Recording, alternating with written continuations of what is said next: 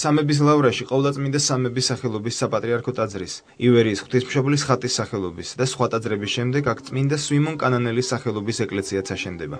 ტაძრის საძირკველი სრულიად საქართველოს კათოლიკოს პატრიარქმა, მცხეთა თბილისის მთავარ ეპისკოპოსმა და ბიჭვინთისა და ცხუმ-აფხაზეთის მიტროპოლიტმა, უწმინდესმა და უნეტარესმა ილია მეორემ აკურთხა. ტაძარი აფხაზეთში დაღუპულ მეომართა სულის საოხად და იმ წმინდანის სახელზე იგება, რომელმაც წმინდა ანდრია პირველწოდებულთან ერთად აფხაზეთში ქრისტიანობა იქადაგა. წმინდა სვიმონ კანანელის სახელზე პატარა ეკლესია ახალათონში ჯერ კიდევ მეოთხე საუკუნეში ააგეს. დღეს კათოლიკოს პატრიარქმა შეკრებილებს დღევანდელი დღე მიულოცა.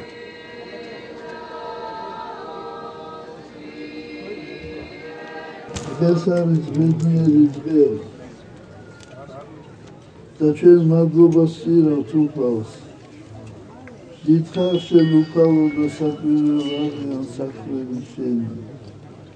ამ წმინდა სამების სავანეში ეზოში აშენდება ტაძარი წმინდისა სვიმონ კანანელისა და ასევე ტრაპეზი იქნება ივანე ოქროპირისა და წმინდისა მოწამისა დიდი მოწამისა ვასილისკოსი ამით ჩვენ დიდებას წირავთ თუბალს და მადლობას წირავთ წმინდა სიმონ კანანელს და ივანე ოქროპინს და ვასილისკოს.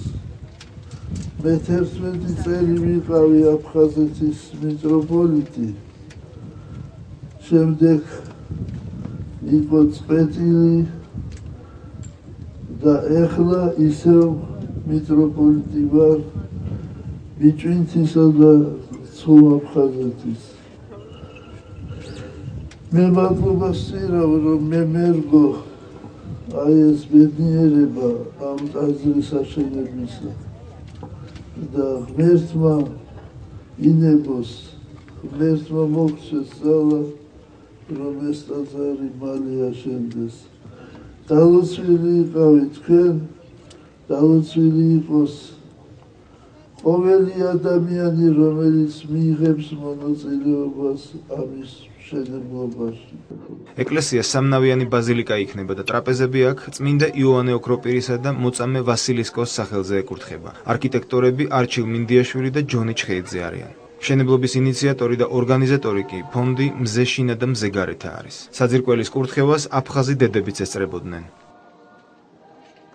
დაძარი არის სამნავიანი ბაზილიკა ზომებშია დაახლოებით დაახლოებით არა 21 მეტრი 14 მეტრზე სიმაღლე 15 მეტრი 200 კვადრატული მეტრია ფართი სასარგებლო ფართი და სამ ტრაპეზიანი იქნება. გევართ იმ ფაქტის წინაშე, რომ ვაშენებთ ტაძარს ერთმანეთის სიყვარულისთვის, ვაშენებთ ერთმანეთის შენდობისთვის და ისე უფალმა ღმერთმა უნდა გაგვაერთიანოს და ღვთისმშეწმით უნდა ვიყოთ ერთად. ყველა ვინც საქართველოში ცხოვრობს, ოსებიც რო დაიღუპნენ აფხაზებიც, იმათ სახელზე იქნება ეს და ალბათ გაგვაერთიანებს იმის იმედი გვარ და დაბრუნების იმედი ვარ.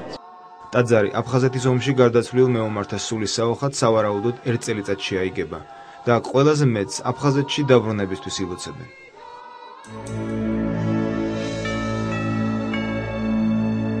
საპატრიარქოში თანამედროვე ქართულ ენაზე თარგმნილი წმინდა სახარების პრეზენტაცია გამართა. ბიბლიის თარგმნის ჯგუფმა, რომელიც 90-იანი წლების დასაწყისიდან ახალი აღთქმის ამ ტექსტზე მუშაობდა, თავიანთი ნაშრომი სრულიად საქართველოს კათოლიკოს პატრიარქს, მცხეთა თბილისის მთავარ ეპისკოპოსს და ბიჭვინთისა და ცხუმ-აფხაზეთის მიტროპოლიტს, უწმინდესსა და უნეტარეს ილია მეორეს წარუდგინეს. საქართველოში უკვე არსებობს ოთხთავის თანამედროვე ქართულზე გადმოტანის ორი ვარიანტი: სტოკჰოლმის ბიბლიის თარგმანის ინსტიტუტისა და ბაჩანა ბრეგვაძის. ახალი გამოცემა კი მათ შორის ყველაზე სრულყოფილია. თარგმნელთა ჯგუფი ძველი ბერძნული ტექსტის გარდა იყენებდა ახალი აღთქმის სლავურ, ევროპულ, აქამდე ქართულ ენაზე არსებულ გამოცემებს და წმინდა მამათა გამონათქვამებს. ერთად შეკრული ოთხთავი ცალ-ცალკე წიგნებად ბიბლიის თარგმნის ჯგუფს უკვე გამოცემული აქვს. ხელმძღვანელობდა მეუფე იოანე და მუშაობდა ხუთი ადამიანი. 15 წლის მანძილზე მიდიოდა მუშაობა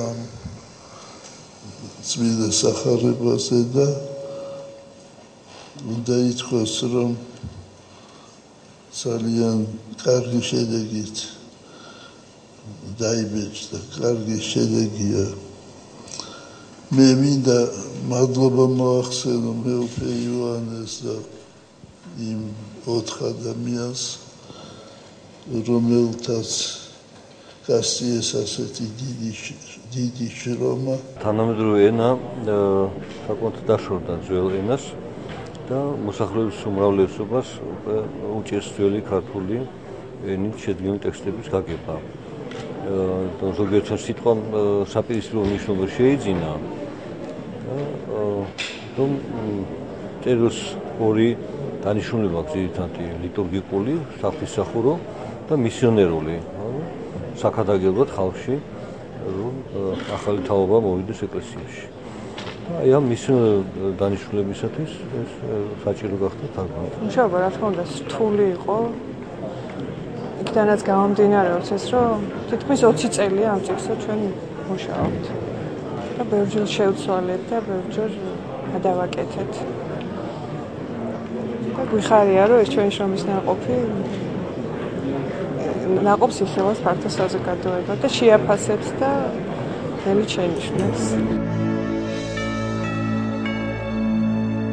წლის ოქროს მედალოსანი მოსწავლეები და თბილისის საგანმანათლებლო დაწესებულების მანდატურები ოკუპაციის მუზეუმს ეწვივნენ. მათ ერთად დაათვალიერეს 1921-1991 წლების საქართველოს ისტორიის სამსახველი მნიშვნელოვანი დოკუმენტები. მანდატურების განცხადებით მათი მიზანია საქველმოქმედო აქციებში მონაწილეობა აქტიურად მიიღონ და საზოგადოების სხვადასხვა ფენას სკოლის მანდატურის არსი განუმარტონ. დღეს მანდატურებმა წამოუყურეთ ყველა მედალოსანი 12 კლასელი ოკუპაციის მუზეუმში მუზეუმის დასათვალიერებლად ძალიან მოხარულები ვაჭრობ ბავშვებს ვაჭრობთ ეს მუზეუმი და აუცილებლად გავაგრძელებთ ესეთ აქციებს მომავალშიც. დღეს ჩვენ პირველად წამოგვიყვანეს და ძალიან გამიხარდა პირველად თორე აქ არ ყოფილვართ და მანდატორებთან ერთად რა ვიცი გავეცანით 1921 წლის ოკუპაციას და რა ძალიან კაია.